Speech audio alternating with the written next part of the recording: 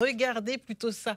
Nous allons direction la ville de Faa, en Polynésie française, un territoire où cohabitent de nombreuses espèces. Tout à fait. Alors on peut commencer par dire que 96% du territoire de la Polynésie est occupé par l'océan et nous avons découvert l'association Temana Otemoana qui signifie l'esprit de l'océan. L'objectif de l'association est justement de protéger les fonds marins de Polynésie avec un symbole en particulier, la tortue marine.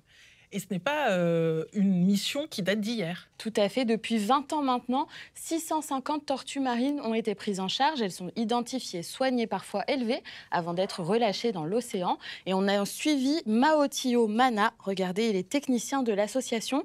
Sa présence et celle de ses collègues est indispensable pour préserver cette espèce. Vous allez le voir dans le sujet. En quoi notre biodiversité est-elle en danger? Comment donner envie à chacun de protéger la nature? Peut-être en s'émerveillant. Reportage de Jérôme Bonpierre.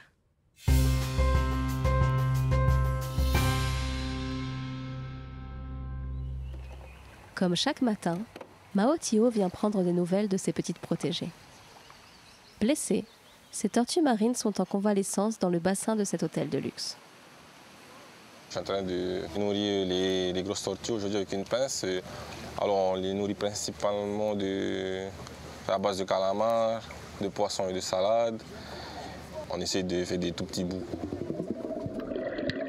Peu farouches, ces tortues se laissent facilement approcher et nourrir.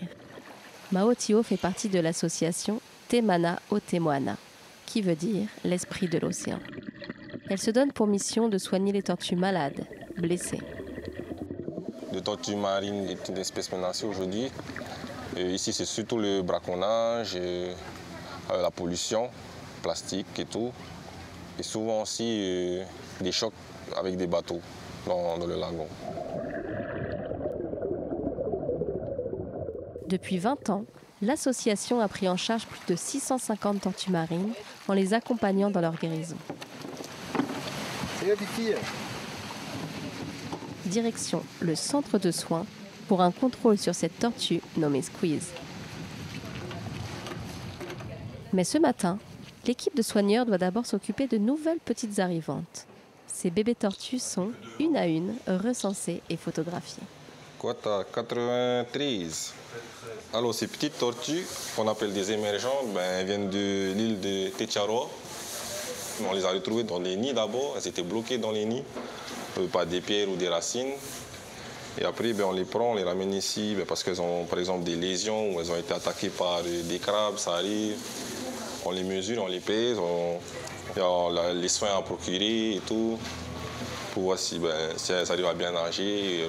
Le but euh, final, ben, ce sera de les relâcher dans la nature une fois qu'on voit qu'elles ben, vont bien, d'ici six mois, voire un an. Vraiment, ça me rend heureux que me dire que plus tard, ben, les tortues seront encore là euh, grâce à mes actions et pour les générations futures surtout. Sur cette espèce de tortue marine, cinq d'entre elles sont aujourd'hui menacées. Il y a donc urgence pour l'association et Hélène Durand, la directrice générale. Comment ça va hein?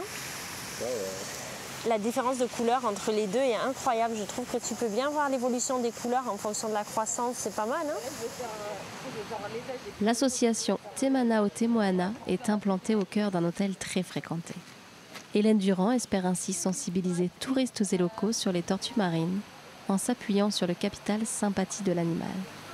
La tortue est un symbole des océans. C'est vrai qu'elle représente un être inoffensif qui est face à tous les dangers qui peuvent être retrouvés dans l'océan et elle a ce rôle un petit peu d'apaisement.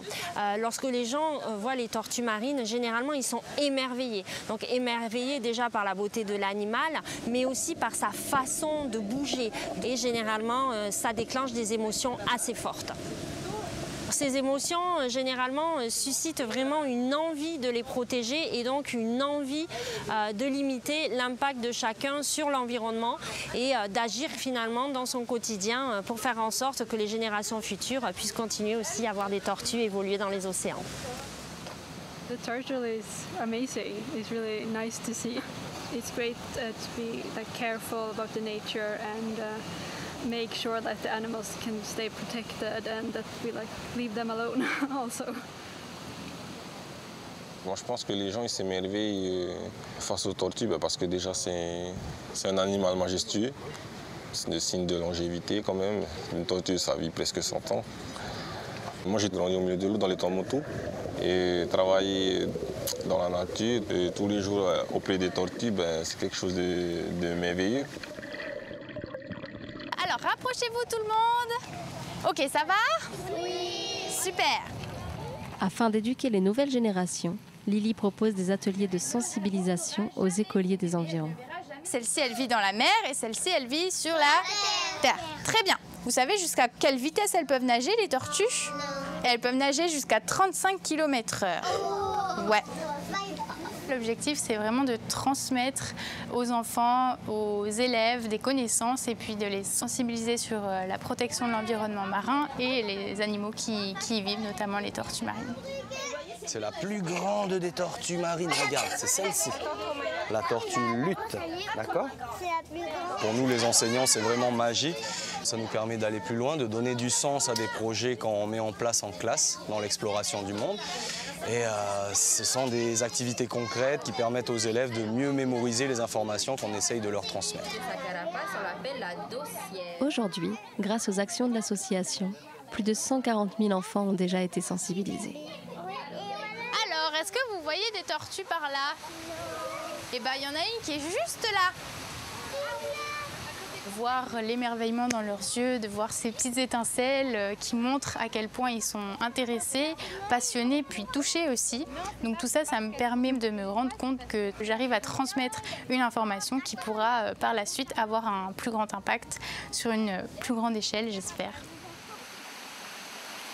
En fait, il faut jamais jeter des plastiques, des déchets et aussi des bouteilles d'eau parce que ça pollue la nature. Aussi majestueuse qu'inoffensive, la tortue fait partie intégrante du paysage du Fénois et de son écosystème. L'émerveillement qu'elle suscite nous invite à une prise de conscience collective pour préserver cette biodiversité.